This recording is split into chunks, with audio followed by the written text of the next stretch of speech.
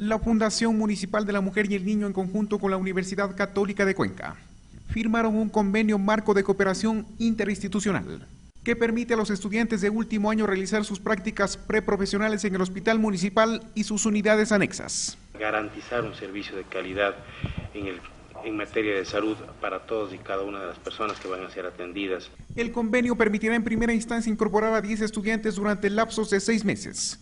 Posteriormente se seguirán integrando más alumnos a este ente médico para sus prácticas. Su entrenamiento preprofesional previo pues, a su graduación y esto es importante también para la ciudad porque hace la vinculación que se necesita tanto entre el ente académico como con el, con el ente municipal. Los estudiantes podrán realizar actividades ligadas a la investigación y educación continua en las distintas áreas médicas.